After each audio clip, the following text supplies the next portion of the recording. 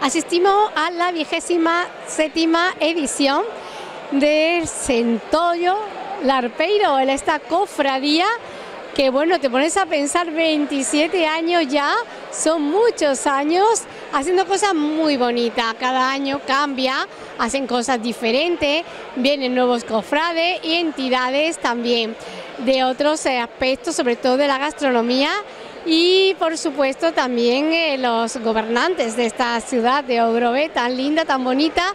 Y aquí os voy a contar de la, del paraíso del marisco.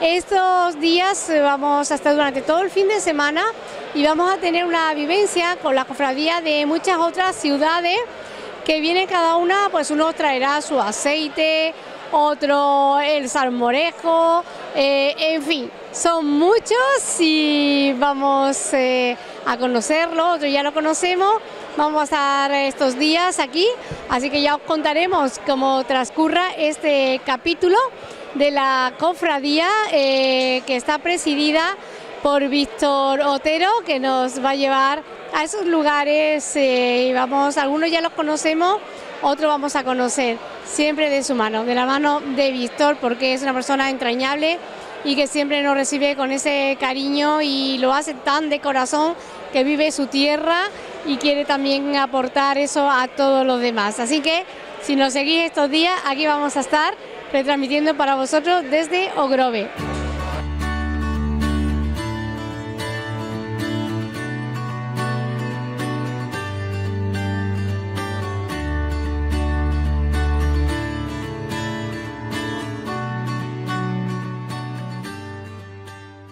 Entrevistamos a don Víctor Otero, presidente de esta cofradía que lleva ya muchos años. Eh, son ya, bueno, pues hoy se celebra ya el vigésimo séptima edición de la cofradía del Centollo Larpeiro y que hoy es el día de la bienvenida a los cofrades y a muchas otras entidades del sector de gastronomía, que no solamente es darle esa popularidad que ya la tiene a la gastronomía, sino también a conocer la ciudad de la mano de, un gran día que va a ser él. Eh, ¿Qué tal? Buenas tardes. Hola, buenas tardes. Disculpadme que no tengo ya voz. Eso que acabamos de empezar, pero es que no paras y son muchas las personas que vienen este año que ya me gustaría que me hicieras una introducción de las novedades que vamos a ver este año. Bueno, pues efectivamente este año hemos hecho unos cambios. Siempre se ha arriesgado a hacer cambios cuando tienes un programa que más o menos funciona, pero creímos que había que dar un paso un paso adelante en los encuentros de cofradías y era el de interactuar, que los, cofrades de otros lugares eh, e interactuaran con los locales del pueblo, con la gente del pueblo y hemos desarrollado una cosa que se llama la Ruta Centoleira de Ogrove. Entonces ahí, eh, con unos locales que colaboran con la cofradía, hemos establecido una ruta para que los, todas las personas que quieran hacerla, pues vayan sellando, vayan yendo, consumiendo en esos locales y les van sellando su paso por cada uno de los establecimientos que están adheridos al programa. Eh, todos aquellos que, eh, que, completen la ruta, son 14 locales este año, eh, todos los que lo consigan, les vamos a entregar un carnet que de centoleiro distinguido, que ya es vitalicio para siempre, y también les vamos a dar una insignia especial para poner en, las capas de centoleiro distinguido del Grove.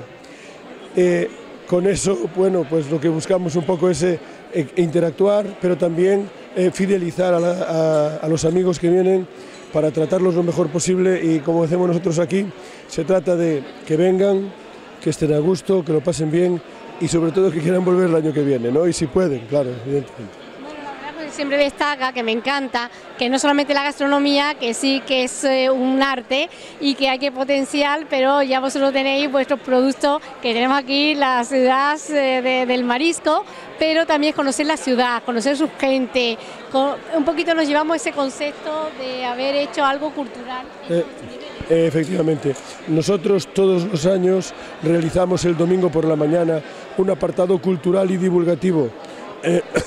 perdón estos años hemos visitado el Museo de Salazón y de la Pesca del Grove, hemos visitado La Toja de, mano de un historiador, eh, Frank Meis, que es una persona extraordinaria que colabora con nosotros todos los años y eh, ha llevado a, los cofrades de diferentes lugares a explicarles, estuvimos en la Siradella, a explicarles el pasado del Grove. El año pasado tuvimos eh, un paseo por aquí, por el pueblo del Grove, eh, pero viendo cómo era el Grove hace 100 años. Es decir, un poco viendo dónde estamos y qué es lo que había en el Grove hace 100 años, por ejemplo. Este año hemos hecho un cambio para, para que Fran descanse, porque no, no, el hombre no para y lo que vamos a hacer este año es introducir, vamos a hacer un, concierto aquí en esta misma carpa el domingo por la mañana de acceso libre para que todo el mundo pueda venir, eh, un concierto de acordeones y, también el profesor Carro de la Universidad de Santiago nos va a impartir una conferencia magistral que se titula ¿Qué comían los habitantes del Grove hace dos mil años? Eh, a ser muy interesante, muy interesante queda mucho camino por andar, acabamos casi de llegar y mañana nos seguirá contando las capitulaciones eh, a quién se homenaja, eh, los diplomas que se otorgan y que todo, todo, todo está muy bien pensado, muy bien organizado, ya lo hemos vivido en una ocasión y nos quedamos siempre maravillados. Así que vamos a seguiros y bueno, en este día es la bienvenida a todo el mundo, ¿no? Pues muchas gracias, eh, Bien, bienvenidos a todos y espero que lo paséis bien por su labor y su trabajo, por destacar Ogrove. Gracias. Muchas gracias. Muchas gracias.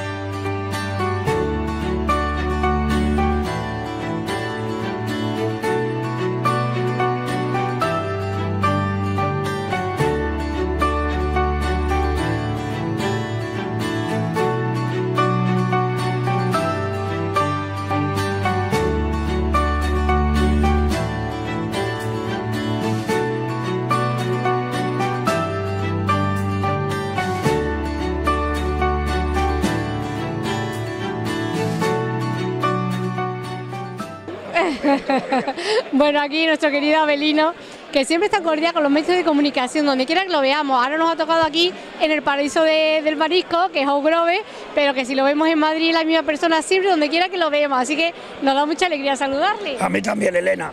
Oye, qué bonito. Elena con H, ¿eh? Como la Elena, aquella famosa, ¿os acordáis? La de París y tal. Pues esa era con H y alguna otra. Bueno, pues esta es una Elena con H que tiene mucho mérito. Qué entorno más bonito, que estamos aquí en el paraíso del marisco. Sí, indudablemente Galicia es el paraíso del marisco, pero Grove especialmente, no ya por esta estupenda cofradía del Centro Larpeiro, sino porque hace una gran fiesta del marisco todos los años, que ha debido de ser el mes pasado, fantástica, y porque además tiene una cosa muy hermosa, y es amistad, confraternidad y muy buena gente.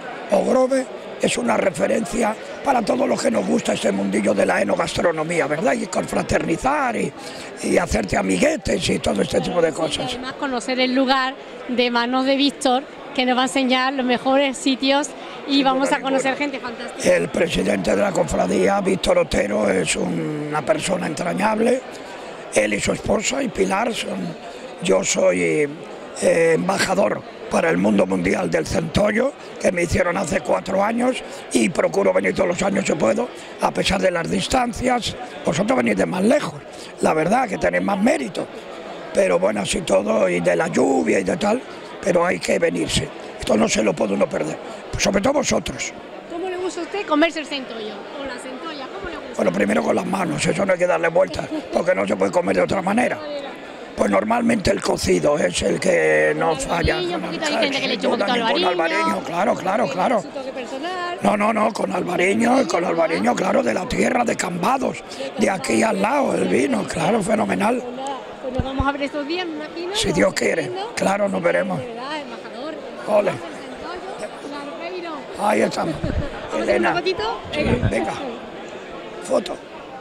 Entrevistamos a don Miguel Delfín, que es también el presidente de la cofradía del Salmorejo, ahí en Córdoba. ¿eh? Salmorejo cordobés.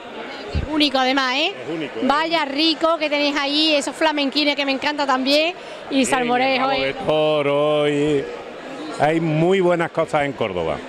Yo creo que lo único malo que hay en Córdoba soy yo, pero aparte de eso, pero, aparte de eso, todo de maravilla. ¿Cómo su cofradía?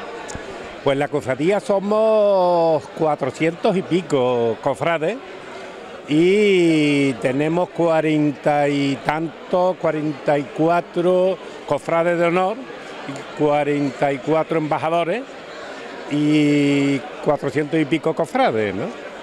Llevamos, tenemos 10 años de vida. ¿Qué actividades hacéis dentro de...? Pues lo que intentamos y el objetivo es promocionar Córdoba a través de la gastronomía y hemos elegido el plato estrella que es el salmorejo cordobés. ¿Y en qué época ha vuestro encuentro? Eh, la verdad es que no hemos hecho todavía un encuentro, no. Hemos hecho un encuentro de eh, hace dos años de todas las cofradías europeas, pero nosotros lo que hacemos es investiduras. Hacemos unas seis investiduras al año. Hay un cofrade de honor, un embajador y luego siete o ocho nuevos cofrades, ¿no? y hay una fiesta y eso es lo que hacemos. Capítulo y fiesta todavía no lo hemos hecho. Lo haremos, por supuesto que sí, por supuesto que sí. enhorabuena y gracias por atendernos. Pues nada, gracias a vosotros y enhorabuena por tener una tierra tan bonita ¿eh? y tan... Estamos cerquita, ¿eh? Córdoba y Marbella estamos cerca. Ah, que eres de Marbella. Ah, entonces mejor todavía. Estamos muy cerca. Ah, muy cerquita, pues entonces conocerás Córdoba, claro, como es natural. Gracias. A vosotros, ¿eh?